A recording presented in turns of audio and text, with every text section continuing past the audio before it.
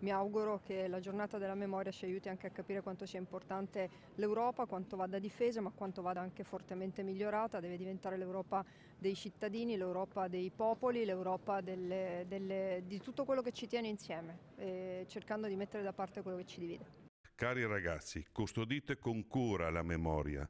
e usatela come un faro per costruire un futuro migliore, perché come ci ricorda Primo Levi, tutti coloro che dimenticano il loro passato sono condannati a riviverlo. Perché questo? Perché ho fatto un discorso per i giovani, perché ormai purtroppo gli anni passano e i testimoni mancano sempre di più però è rivolto ai giovani perché, ripeto, non dobbiamo dimenticare in un momento poi che il mondo è tutto pieno di fuochi accesi di guerre. Viene da chiedersi ogni anno quando si celebra la giornata della memoria e lo stesso discorso varrà anche fra due settimane in occasione del giorno del ricordo, qual è a più di 15 anni dall'istituzione il senso di determinate iniziative e quanti fra i non molti giovani presenti stamani in risiera avranno fatto proprie le parole del sindaco di piazza. Di anno in anno la sfilata di labari, le deposizioni di corone, gli stessi discorsi delle autorità vengono seguiti da un numero sempre minore di persone e oggi non è stata colpa del freddo. Forse è colpa di un copione che si ripete sempre uguale e magari non potrebbe essere diversamente.